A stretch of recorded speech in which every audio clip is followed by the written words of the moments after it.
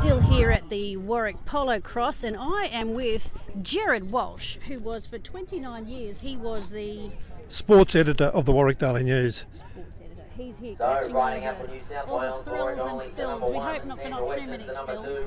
But here we are, he's just Beck doing his job number here now. Riding out for Queensland. Sport is not just sport. Sport is great for our mental health and everything else, and Warwick has done it tough.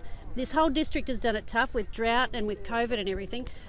Gerard, what does sport do for a community? It's not just getting out and exercising, is it?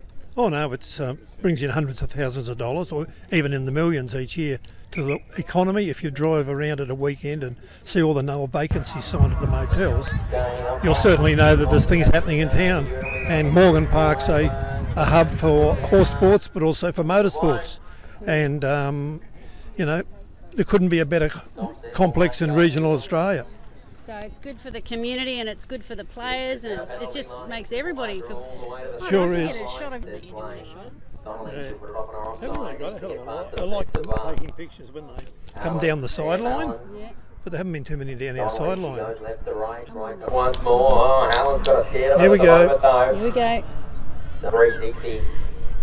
Thanks. Gerard. I'll let you get back to it. Right to right round the front, drop it out of the back.